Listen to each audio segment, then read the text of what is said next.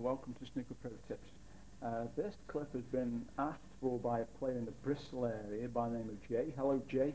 Uh, we've passed quite a few personal messages now regarding break building. Uh, now the difficulty I have with, with doing this clip is actually playing and talking at the same time. So what I'm actually going to do is just go through it shot by shot uh, without playing a shot and actually try and explain uh, why certain positions come about. Uh, if this isn't suitable, uh, I'll I'll do another clip or try and do another clip with pleasure, but I won't be able to talk on it uh, because it's just too difficult to try and play and talk at the same time. I hope you can appreciate that when you're watching this clip. Now, uh, the questions that Jay has asked is sort of looking shots in front uh, and also when to and when not to go into the pack. Uh, and, and break building in general. Now what you will see is when you're watching most of the guys on the TV, uh, what they try and actually do is get the, the top pockets as clear as quickly as possible. Obviously this allows the black to go in either corner and, and thus giving them more range of shots to be able to play, obviously. So the situation is now that this red, this one here, is actually blocking the black to this corner pocket. Now, you could play this red here first, but the best red to play actually is this one.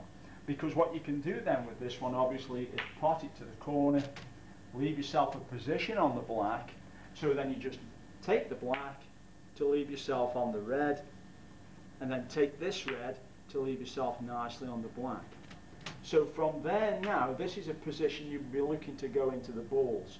Because obviously now this red is here, so what you can actually play is to pot the black and screw into the reds. So the black's gone in, the reds have opened out, and then you've finished nicely on this red. And now this is where they're looking, you've already done it once, Jay doesn't seem to think he does it, but I think he does. He looks shots in front. He doesn't seem to think he does, but he actually does.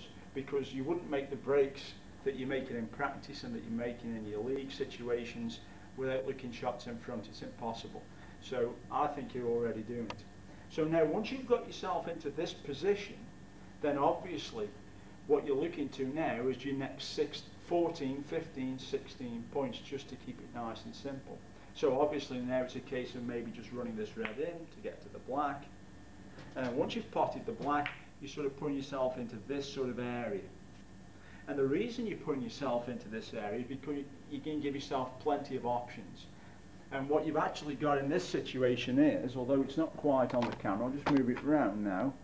What we've actually got there is two reds to the centre and this red to the corner if you're desperate, if it goes. And it just, I think, goes to the corner.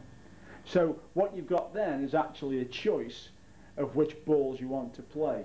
Now in this situation, the obvious red would be this one because you can pop the red to the centre and get the white back into this area.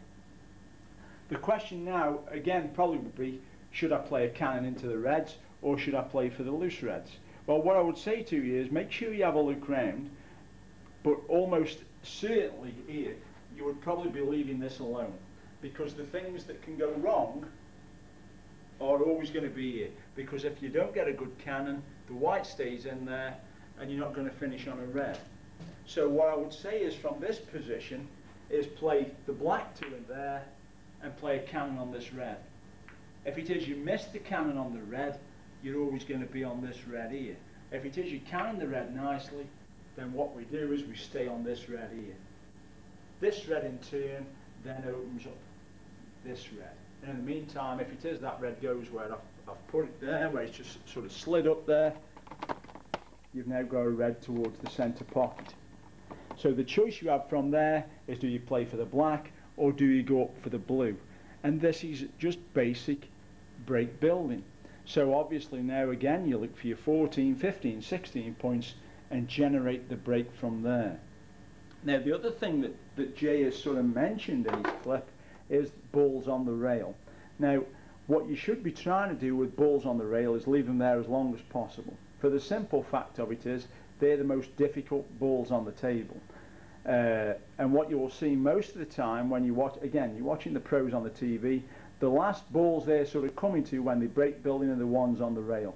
They very rarely develop the balls on the rail until the end of the break when they've got to. So if you've got balls on the rail, if the if the, the table's tight that you're playing on, then obviously you've got to be trying to fetch them off rather than trying to smash them down the rail. If it is obviously the table you play on the bags are quite generous or, or big, then you can just put it down the rail without any problem at all. But in, in general, what you're trying to do is leave these balls as long as possible where they are. Because come again, if it is you score uh, round about the 50, 60, 70 mark, tactically those balls are quite good left on the rail because obviously your opponent then can't be potting reds to get himself in a position where he can lay snookers on you uh, on the colours or with last red on.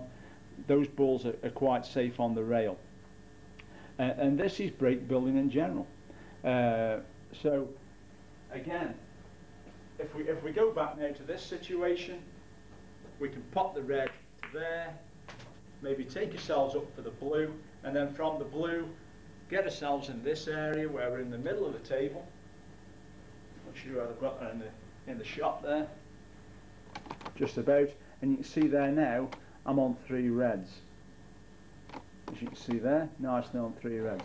Uh, this red here, I think, goes to the corner, goes to the middle. So actually, there are still four reds available. And once you take them four reds off, you're probably getting down to the, the five, six red mark, you're around about the 60 break mark. This red also goes, it's next to the pink, into the corner. So there's enough reds there for you to be going on to win the frame. Once you've won the frame, then you can probably become a little bit more creative, play the cannon in there, try and split the reds, and, and hopefully go on to clear the table. Uh, and this is uh, break building uh, in general. Uh, again, make sure if you do hit the pack that you have a good look round, to see what goes where. So you've got a, a rough map of the table uh, inside your head when you're walking round because then you'll know what reds go, what reds don't go. If I pot this red, does that free that red? So again, you're looking shots in front. Uh, as I've said, this isn't like one of the normal clips I've done. I've, I've obviously played all the shots there. But again, the job I have with sort of explaining break building or, or showing break building is, is talking and playing at the same time. I'm not going to dub over the top, and I'm not going to put little speech bubbles on or anything like that because it's just it's just too much effort. Uh, so, if it is you want to see uh, a, a, break or whatever, get in touch. I'll try and do a clip, but there won't be any talking. It'll just be me playing, uh, and that's it. I hope you find this useful, Jay. I hope you find it helpful. Uh, but like I've said in the messages that we've passed, I think you're already doing the things that I've, I've already explained in this clip. I think you're already doing it. Uh, and probably what you're actually doing is expecting far too much of yourself uh, as regards the standard. When the balls come open, no player on the planet makes 100 every time the balls come open. So uh, I think you're actually, you, your game is to quite a good standard.